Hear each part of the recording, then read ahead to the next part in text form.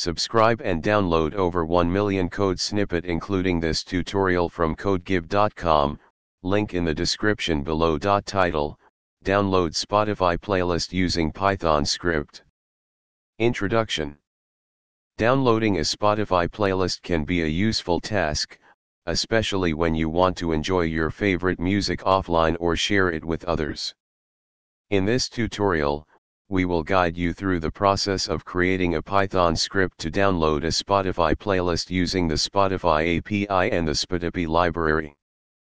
Prerequisites Spotify developer account Create a Spotify developer account and register a new application to obtain API credentials. Python and pip Make sure you have Python installed on your system. You can download it from https colon slash slash www.python.org slash downloads. pip should be included with Python installation. Spotipy library, install the Spotipy library, which is a Python library for the Spotify API. Requests library, install the requests library to handle HTTP requests. Spotify playlist URI, obtain the URI of the Spotify playlist you want to download. You can find it by right-clicking on the playlist in the Spotify desktop app and selecting Copy Spotify URI. Python script. Sure, I can help you with that. To download a Spotify playlist using Python, you can use the Spotipy library, which is a Python library for the Spotify Web API. Before you start, you need to create a Spotify app and get your client ID and client secret.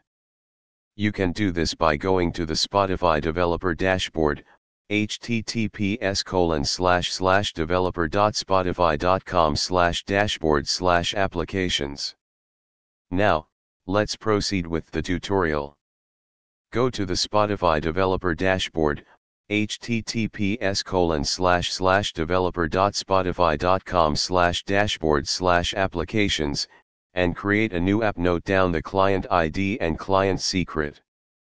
Create a new Python script, example download underscore Spotify underscore playlist.py and use the following code. Replace your underscore client underscore ID, your underscore client underscore secret, your underscore redirect underscore URI, and your underscore playlist underscore URL with your actual Spotify app credentials and the playlist URL you want to download. Open a terminal, navigate to the scripts directory, and run.